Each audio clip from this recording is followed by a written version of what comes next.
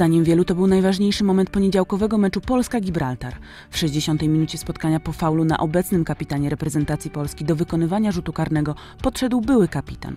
Podszedł, mimo iż jak mówił na pomeczowej konferencji Adam Nawałka, Jakuba Błaszczykowskiego nie było na liście piłkarzy wyznaczonych do egzekwowania jedenastek.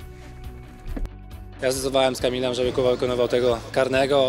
Po długiej przerwie na pewno fajnie, że Kuba strzelił, wrócił do reprezentacji i myślę, że to też mu da na pewno takiego kopa pewności siebie. Właśnie w kontekście tych kolejnych e, meczów, gdzie, tak jak powiedziałem, no, będą dla nas pewnie najważniejsze. To nie były najłatwiejsze miesiące w jego e, karierze. Teraz e, zmienił e, klub, więc na pewno taka bramka, nawet rzutu karnego, nawet tylko przeciwko Gibraltarowi, zawsze może dodać trochę otuchy. Ostatni raz Kuba Błaszczykowski gola w koszulce z orłem na piersi strzelił we wrześniu 2013 roku w meczu przeciwko San Marino. To widać, że, że on nie gra, że, że mu brakuje rytmu meczowego, że mu brakuje takich prawdziwych sytuacji meczowych, prawdziwych sytuacji jeden na jednego, jeden na dwóch.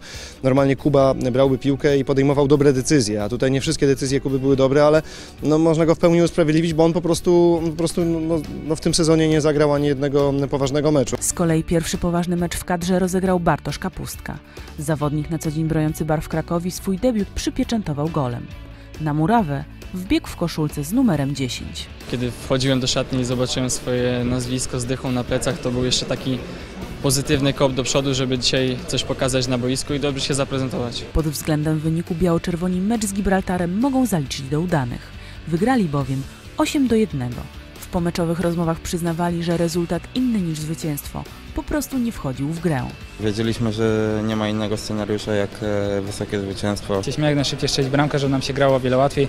Kamil strzelił tak naprawdę pierwsze dwie bramki w dość, dość e, nie wiem czy do 15-20 minuty i, i później już nam grało się o wiele łatwiej. Dwie bramki zdobył również Robert Lewandowski. Napastnik Bayernu Monachium gole zadedykował żonie Annie.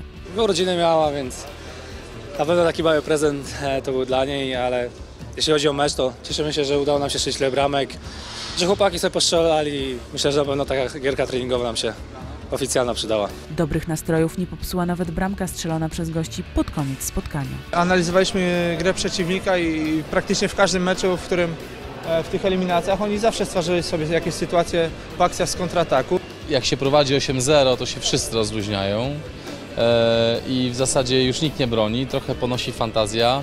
E, każdy myśli o tym, skoro kolega strzelił, to czemu ja nie mogę strzelić i się po prostu wszyscy zapomnieli. Miejmy nadzieję, że piłkarze nie zapomną się za miesiąc, kiedy ich przeciwnikami będą drużyny ze Szkocji i Irlandii. Ela Kowalska, Onet.